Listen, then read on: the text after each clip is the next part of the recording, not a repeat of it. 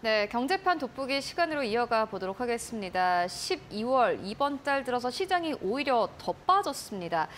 어, 뉴욕 증시도 마찬가지고 한국 증시도 역시나 마찬가지로 투자 심리가 오히려 좀 냉각되고 있는 분위기인데요. 이미 많은 투자자분들께서는 이 산타 랠리에 대한 좀 기대감을 접은 듯한 모습입니다. 하지만 반대로 1월에는 시장이 반등할 수 있을 것이다라는 기대감 함께 나오고 있는데요. 오늘 관련된 이야기 함께 나눠보도록 하겠습니다. 오늘의 명지대 경제학과의 신승용 개건 교수 모셨습니다. 안녕하십니까? 네, 안녕하십니까? 네, 앞서서 말씀드렸습니다만은 1월 효과를 기대해 볼 수 있을지 먼저 결론부터 듣고 가도록 하겠습니다. 네, 일단 뭐 1월 효과 지금 뭐 실질적으로 어, 산타랠리는 뭐 거의 마무리 국면되었다. 오히려 기대가 컸었던 만큼 실망도 커지는 그런 시장의 상황 아닐까 생각이 되는데 저는 오히려 이런 생각을 해봅니다. 12월 한 달 동안 웅크렸었던 그런 시장들 오히려 내년 1월 어, 신년이 밝으면서 오히려 시장 내 상당 부분 경기 연착륙에 대한 기대감이 스물스물 피어오르면서 시장 기대감 오히려 커지지 않을까라는 그런 어, 생각 좀 가져보게 되는데 결국 연말 연초가 되면 시장은 이런 생각을 합니다. 통상적으로 이제 그 추수감사절 이후부터 소비에 대한 기대감이 확산이 되어지는 그런 모습. 그렇게 되면서 소비에 대한 지표들 나오게 되고 연말에 들뜬 분위기들과 함께 이 부분 이런 부분들이 1월 효과까지 자연스럽게 이어지게 되는 연말 연초 상승 랠리에 대한 기대감이 계속 되었다라는 부분. 경험적으로 우리가 어 그 일단 경험치를 가지고 있다라는 부분. 근데 지금 현재의 상황 좀 따져보게 되면 기대감이 조금은 좀 일찍 찾아왔었죠. 그러다가 이제 지난주 마지막 올해 마지막이었던 FOMC가 마무리가 되면서 오히려 시장은 다소간 좀 경기 침체에 대한 우려감 내지는 이런 부분들이 공포로 확산되어지는 그런 모습 나타나게 되면서 전체적으로 연말 시장의 분위기는 사뭇 조용해져 가는 그런 모습들이 이미 시작되고 있다라는 점. 근데 이런 부분들을 놓고 가만히 생각을 해본다라면 오히려 내년 1월부터 시작되어지는 1월 효과 이런 부분들에 대한 기대감을 오히려 더 키워갈 수 있는 것은 아닌가라는 생각을 가져보게 됩니다.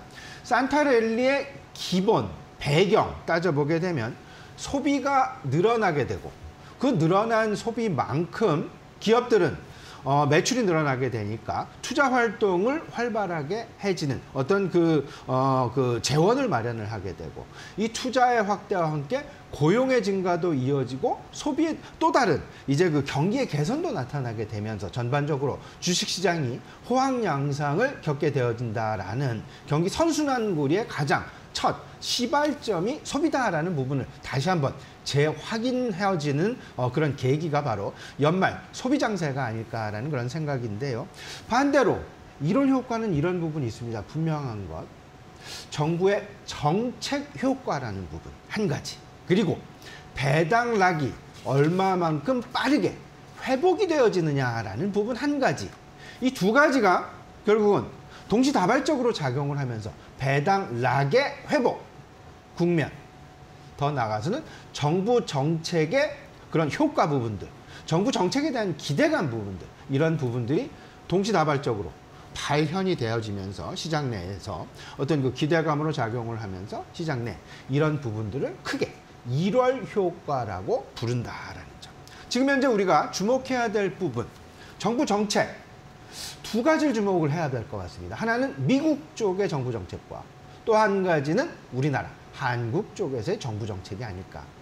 미국 쪽에서의 정부 정책, 결국은 IRA, 어, 그 인프레 감축법에 어, 그 사실은 어, 상당 부분 시장의 관심이 모아지고 있다라는 점. 이 부분을 놓고 시장 어찌 보면 우리 시장도 상당 부분 기대를 가졌지만 이에 대한 혜택이 다소간 물 건너 가면서 사뭇 어려움을 겪었던 우리 증시였습니다. 하지만 어, 우리 정부와 이제 그 미국 정부 측과의 어떤 그 사전 조율이랄지 이런 부분들로 인해서 이번 시행령 올해 안에 시행령 발표를 앞두고 있는데 시행령 발표 이전에 이런 부분들이 조금은 좀 우리 측에 긍정적으로 과거의 최악의 상황보다는 조금은 좀 개선되어진 상황으로 시행령의 발표가 나올 것은 아닌지라는 기대감이 여전히 시장 내에 잔존하고 있다라고 보셔야 될 것 같고 우리나라 같은 경우 따져보게 된다라면 결국은 2023년도 예산안 뭐 거의 확정 분위기, 거의 마무리 국면이긴 하지만 아직 최종 확정이 안 났기 때문에 일단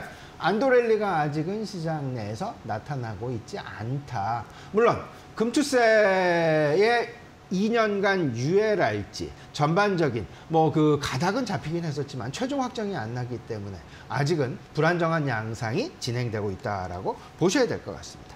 일단 우리나라의 경제 정책 방향성을 좀 살펴보시게 되면 어, 시장 예고는 이미 어, 돼 있는 상황이 되겠습니다. 위기 극복과 제도약이다라는 아젠다를 가지고 2023년도 예산안을 책정하고 있다라는 점. 여기서 물가의 안정 그리고 생계비 부담을 완화시키겠다라는 부분 한 가지와 또 하나 일자리 고용 부분의 상당 부분 촉각을 곤두세우고 있다라는 점이죠. 이 고용 우리 시청자는 항상 제가 강조하는 부분인데요. 이 고용의 시장은 이제부터는 정말로 방점을 찍어야만 하는 그런 시기가 2023년 한 해 동안 아마도 시장을 내내 좌지우지할 가능성이 높다라고 보셔야 될 것 같습니다. 일자리의 확대와 지난 이태원 참사와 같은 이런 부분의 재발 방지를 위해서 안전망을 확대하겠다라는 안전망을 강화하겠다라는 그런 부분들. 결국 금융 긴축은 일단 통화 정책으로 인해서 다소간 지속이 된다라고 봐야 되지만 거꾸로 정부 지출이 확대가 되다 보니까 그러면 정부가 할 수 있는 경제 정책 네 가지로 요약이 됩니다. 하나는 조세의 완화, 그리고 재정 지출의 확대, 그리고 통화 긴축이 아닌 통화의 완화, 완화 이런 부분들로 이제 그 생각을 좀 해볼 수 있는데 정부 지출의 확대와 조세의 완화, 법인세 인하 물론 시장 기대치보다는 조금은 좀 미약하긴 합니다만은 그래도 법인세 인하 쪽으로 이미 어, 그 당정간 어, 그 방향을 잡았다라는 부분은 시장 내 다소간 안도를 줄 수 있다라는 부분들 생각을 해보시고요. 마지막으로 연말 같은 경우 배당에 대해서 꼭 생각을 해보셔야 되는데 제가 배당락의 빠른 회복에 대해서 말씀을 드렸죠. 1월 효과의 가장 중요한 두 가지 중에 하나가 배당락의 회복 부분이 될 텐데 저는 우리 시청자 여러분들 배당락을 본인 스스로 갖지 마시고 그 얘기는 배당을 받지 마시라는 얘기입니다. 12월 28일 이전에 주식을 매도하시라는 말씀입니다. 그리고 나서 배당락이 나타나게 되면 바로 매수에 들어가는 그렇게 해서 배당락이 회복되어지는 1월 효과를 오히려 누리시는 게 여기에 편승하시는 게 오히려 더 좋은 전략이실 수 있다. 배당 받으시게 되면 배당 소득세도 고민을 하셔야 되고 그리고 그 배당락이 실질적으로 내가 받는 배당금보다 상당 부분 클 수 있습니다. 주가가 더 많이 빠진다는 얘기죠. 내가 받는 배당금보다. 그러는, 그러느니 차라리 배당락, 많이 빠진 배당락을 오히려 빠른 시간에 회복되는 1월 효과에 편승을 해서 배당락 직후 주식을 배당 관련주에 대한 매수를 고려해 보시는 게 오히려 더 바람직한 전략이 아닐까 생각이 됩니다. 어, 신생용 교수님께서는 1월 효과를 기대를 하고 있고 사실 경기 침체가 온다고 하더라도 정부 지출이라든지 뭐 정책적으로 나오는 돈은 어쩔 수 없이 네. 나와야 되는 돈이기 때문에 분명히 이것들이 시장에 영향을 줄 것이다라는 이야기 듣고 왔고요. 이어서 뭐 경제 지표도 최근 들어 좀 중요한 역할을 합니다. 어떤 경제 지표 그리고 어떻게 나오느냐에 따라서 시장의 좀 움직임이 큰 상황인데 어떤 지표를 지금 시점에서 주목을 해보면 되겠습니까? 일단 뭐 연말 뭐 2주도 채 남지 않은 그런 이제 상황이죠. 실질적으로 이제 뭐 소위 말해서 시장 내 뭐 모멘텀의 공백기다라고 얘기를 할 정도로 연말 장세는 이제 거의 마무리 국면에 접어들게 되는 뭐 다음 주 같은 경우는 뭐 미국도 그렇고요, 우리나라도 그렇고요. 거의 이제 window dressing 말고는 그러니까 나의 펀드 그리고 나의 포트폴리오 수익률을 일정 부분 확정하는 그래서 마무리 단계에 들어가는 그렇기 때문에 큰 매매보다는 튜닝하는 정도의 매매 말고는 사실은 기대하기 어렵다 라고 보셔야 될 것 같은데 이런 상황들 속에서도 이제 내년 올해가 마무리됐다고 내년 뭐 앞으로 주시장이 끝나는 거 절대 아니죠. 내년 시장 또 열리게 되죠. 바로 연속 성상에 있으니까요. 이런 상황들 속에서 우리가 가장 주목해야 될 경제 지표 뭐가 있을까? 결국 연준의 통화 스탠스에 우리가 주목할 수밖에 없는데 통화 스탠스에 영향을 주는 부분 이번 주 금요일 어, 미국의 PCE 지표 발표가 예정이 되어 있는 그런 상황이 되겠습니다. 개인 소비 지출 쪽인데요. 어, 제가 이제 그 소비 그리고 지출 소비 지출과 이제 그 고용 부분 항상 신경을 써야 되는데 소비 지출 관련된 지표 일단 JP 모건에서는 이 부분 11월 근원 PCE 물가에 대해서 0.14% 전월 동기 대비 전월 대비해서 0.14% 상승으로 어, 예상을 하고 있는데 이런 부분들의 근간에는 실질적으로 PCE 물가가 완화되어져 가고 있다. PCE 물가의 상승률이 완화되어져 가고 있다라고 시장 기대 계속되고 있다라는 점. 그러면 일단 금리는 정점을 찍었고요.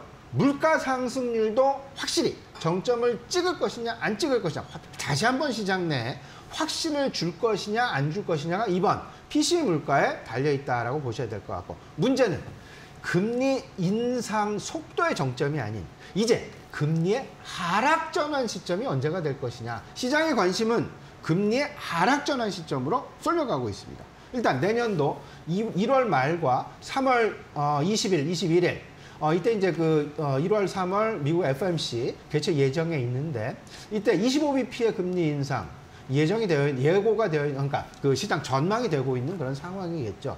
문제는 하락 전환 시점이 언제가 될 것이냐. 아마 시장에서 조심스럽게 전망하는 부분 내년 하반기 정도가 될 것 같은데 이 하락 전환 시점에 대한 이야기가 시장에 나오게 된다라면 분명히 시장 경기 연착륙에 대한 기대감이 커지게 될 것이고 그 이전에는 분명히 물가 상승률이 계속 완화되어져 가는 그런 모습들을 시장에 보여줘야 될 것이다라는 점 이 부분 확인하시면 될 것 같습니다.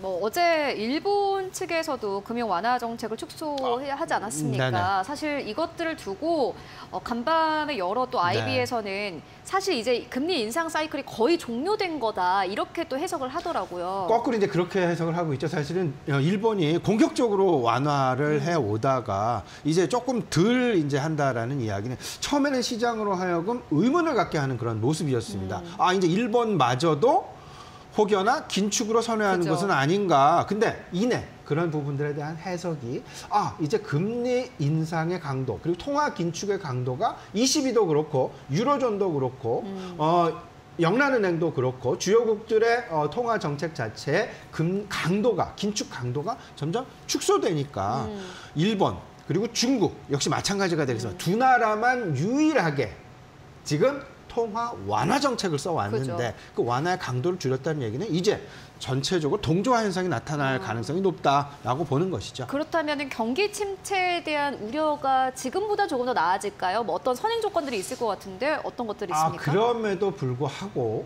이 부분은 생각을 하셔야 됩니다. 항상 어, 그 통화 정책이 있고요. 통화 정책이 실물 경제에 반영되어지기까지에는 항상 파급 시차라는 게 존재합니다. 근데 그 파급 시차 과연 실물 경기로의 우리 그 상당히 강화된 통화 긴축 이에 대한 여파 파급이 과연 정말로 실물 경제에 미쳤을까 안 미쳤을까 저는 아직 확연하게 미치지는 않았다라는 생각을 가지고 있어요. 왜냐하면 기업 실적의 발표 정도가 이때까지 시장에서 통화 긴축 강도만큼이나 우려스러운 정도로 기업들의 실적이 그만큼 침체 내진 둔화되지 않았다라는 것이죠. 결국 언젠가는 아마도 조만간 기업 실적의 악화 또는 둔화가 나타날 가능성이 상당 부분 높은데 그게 아마도 이번 내년 1월 초부터 시작되는 4분기 기업 실적 또는 내년 5월 정도에 어, 시작되는 어, 내년도 1, 4분기 기업 실적이 아닐까라는 그런 생각을 가져보게 되는데 통화 정책은 완화되어지는 쪽으로 가지만 실물 정, 실물 경제에서 기업 실적의 둔화 또는 다소간의 좀 침체가 나타나게 된다라면 투자 심리가 그 현실성에 맞닥뜨리게 되면서 갈팡질팡하게 되는 그런 모습을 보여줄 수도 있지 않을까. 그러면 이 부분을 어떻게 우리가 잘 극복을 해야 될까 좀 봐야 될 텐데 결국은 우리가 이런 부분을 좀 생각을 해야 됩니다. 금리 쪽은 완화 쪽으로 가지만 실물 경기, 기업 실적은 다소간 둔화가 되어진다. 이 부분 속에서 과연 투자 심리의 중심점이 바로 앞에 눈앞에 보이는 기업 실적에 포커스를 맞출까? 아니면 조금은 좀 한 3, 4개월 뒤에 있는 어, 금융, 긴축 완화 쪽에 포커스를 맞출까? 조금은 좀 어, 하루가 다르게 일희일비하는 그런 시장의 전개 양상이 예상이 되는데 그 상황 속에서 우리가 주목해야 될 지표 꼭 한 가지 있습니다. 고용 부분이 되겠습니다. 기업 실적이 둔화 된다 하더라도 그 기업들이 고용의 개선들이 좀 나타나주게 된다라면 이 부분은 얼마든지 극복할 수 있다. 또 하나 지금 현재 시장에서 바라고 있는 부분은 어, 연준의 금리 완화 그리고 금리 인하 시점인데 인하 시점이 언제일까인데 이런 부분들을 조금 좀 앞당기기 위해서는 오히려 고용 부분이 다소 좀 불안한 양상을 보여야 되지 않을까. 경제 지표 보실 때 다소 아이러니한 부분이 있습니다. 오히려 저는 고용 지표의 개선 쪽을 보시기보다는 기대하시기보다는 고용 지표가 다소 많이는 안 됩니다. 다소 불안한 정도의 고용 지표가 발표가 되어진다라면 통화 긴축의 강도가 오히려 금리 인하 시점이 오히려 더 앞당겨질 수 있지 않을까라는 그런 기대감이 시장 내에 스물스물 올라올 가능성이 높다라고 보셔야 되고 오늘 투자자를 간단하게 정리해 드립니다. 1월 효과 잘 생각해 보시고요. 그 다음에 계속 정중동의 상황으로 우상향해 가는 업종군이 분명히 있습니다. 그게 바로 중국 reopening과 관련된 관련주들이 될 것 같습니다. 어, 지금 현재 상황, 뭐 모멘텀은 그렇게 크진 않습니다. 하지만 나아질 것임엔 틀림없다. reopening으로 갈 것임엔 틀림없다라는 부분 꼭 생각을 해보시면 어, 아마도 시장 내에서 나의 포트폴리오 어떻게 꾸려 나가셔야 될지 분명히 참고가 되시지 않을까 생각이 됩니다. 네, 알겠습니다. 시장 전략까지 함께 듣고 왔고요. 지금까지 명지대 경제학과의 신승용 객원 교수와 함께했습니다. 오늘도 고맙습니다.